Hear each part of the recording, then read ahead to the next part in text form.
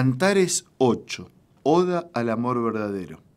Cantares 8 narra el apogeo del amor entre el esposo y la esposa, destacando la devoción, pasión, la pura pasión que se sienten el uno por el otro. La esposa anhela ser como un sello en el corazón de su amado, un símbolo indeleble de su amor. El capítulo también destaca la fuerza del amor que es tan poderosa como la muerte, que las muchas aguas no lo pueden extinguir. La esposa en su deseo de unión completa con su esposo lo invita a que sea como un sello en sus brazos. El capítulo también nos presenta la imagen de un amor que trasciende las pruebas y tribulaciones, un amor inquebrantable. Así como las muchas aguas no pueden apagar el amor, nuestras dificultades no pueden extinguir el amor de Dios por nosotros. Salomón nos recuerda que en medio de nuestras luchas también podemos encontrar consuelo y seguridad en el amor del cónyuge y de Dios.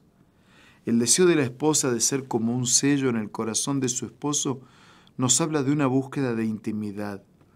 En nuestra vida espiritual anhelamos estar, anhelamos estar tan cerca de Dios que su presencia sea un sello en nuestro corazón un recordatorio constante y permanente de su amor y de su gracia.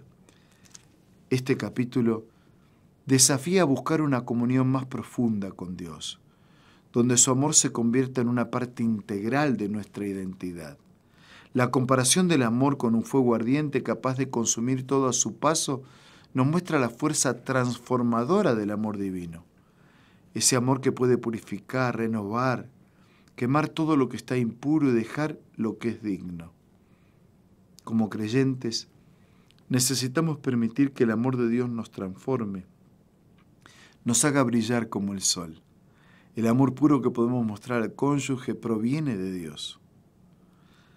Se celebra también la belleza de la creación de Dios, donde la esposa compara su amor con un jardín, un manantial sellado, Así como apreciamos la belleza de un jardín, podemos también maravillarnos ante la persona que amamos.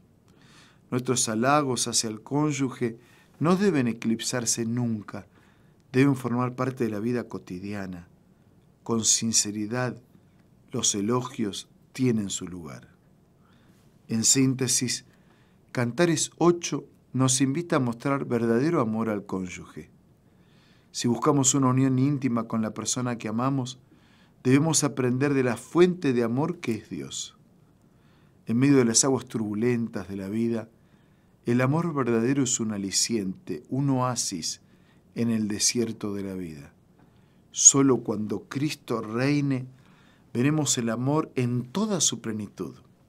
Hoy es una oportunidad para amar, para amar bien, para amar conforme a la voluntad y el diseño divino. Vamos a orar.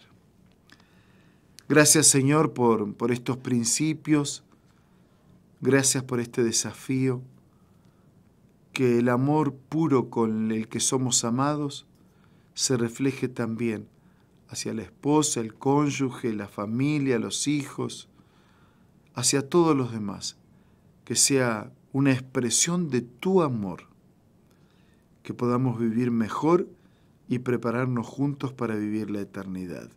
Oramos y agradecemos en el nombre de Jesús. Amén. Muchas gracias. Hasta mañana, si Dios quiere.